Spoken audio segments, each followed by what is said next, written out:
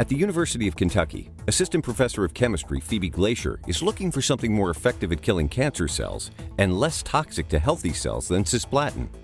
A platinum-based drug, cisplatin is one of the most commonly used cancer drugs, but leads to nausea and nerve damage. Cisplatin essentially does a lot of damage in rapidly proliferating cells. So that's why it's good as a cancer drug and it'll work on a variety of different types of cancer. Problem is, it will kill all types of cells. There's this really, really narrow window between a therapeutic dose where you're effectively killing the cancer and the toxic dose where you're essentially killing the patient. That's why I was motivated to start this project. Glazer's lab team has an alternative, a drug based on ruthenium. So ruthenium is another transition metal. So it's in the middle of the periodic table and it's right underneath iron. And unfortunately, like platinum, it's a precious metal, so it's not cheap. But the reason people really like ruthenium is you can make complexes out of it that are useful in a wide variety of applications. You can keep the metal center, the ruthenium, the same, and put different organic ligands around it. So if you want to make a sophisticated looking molecule, a complex molecule, you can swap out the different organic pieces and build in three dimensions molecules that will look different and potentially have different functions, different behavior.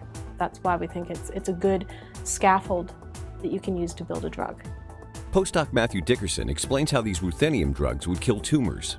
What I'm trying to do is I'm trying to take the molecules, put them into nanoparticles uh, to uh, prolong the circulation time in the body, as well as hopefully deliver them to the tumor more effectively. One of the, the major limiting factors in traditional chemotherapy is the fact that it's non-targeted. And so you, you basically inject it into the patient and it goes where it will. What we want to do is we want to target the, the chemotherapeutics directly to the tumor. Uh, we can inject those into the patient. When we hit the patient with light locally to the tumor, only the, the compounds actually in the tumor are activated so that they become toxic. Using light from a fiber optic probe, Glazer's ruthenium molecules would be switched on and cause DNA damage only to the cancerous tumor. We're also trying to uncover how these molecules work. How do they attack the cell in such a way that it causes them to die in the presence of light? So we're investigating the mechanism of action for these molecules. This is the most, most exciting part of the project because we've found that some of the compounds they kill cell by targeting DNA and damaging DNA. If you can create a molecule that in its intact form is inactive, but when you shine light on it, you create a DNA damaging component and then another component that would have a totally different activity. Then you have the chance of hitting the cell twice that's the hypothesis, that's the idea, is one drug could have two different mechanisms.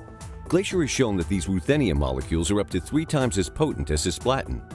In January 2013, she received a four-year grant from the American Cancer Society to develop a family of ruthenium molecules to fight different kinds of cancer. Taking it from essentially some, some initial molecules that prove that the concept works to the point where we might actually have molecules that have a chance of helping someone.